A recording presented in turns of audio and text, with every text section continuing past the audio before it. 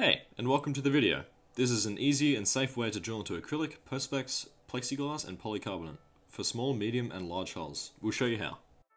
Part 1 of this video is all about setting up your drill. When it comes to drilling holes in acrylic, a cordless drill is easy. This allows for great mobility, although a corded drill will work just fine as well.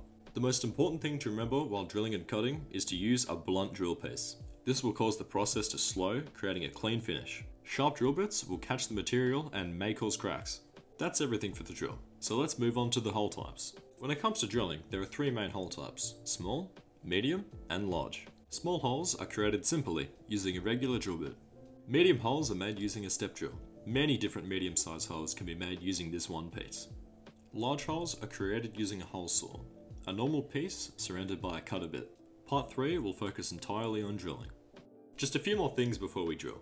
Number 1, don't use rivets, and number 2, don't drill too close to the edge of the material. This is a good chance of slipping or cracking the material. Knowing all of the above, it's time to set up a good environment and the drill. Be sure to grab yourself a sacrificial wooden board as to not damage the surface below. Try and drill at a medium speed as to not crack the acrylic. Finally, create a firm and steady pressure perpendicular to the material using the drill bit. Here's a small compilation of us cutting all three hole types.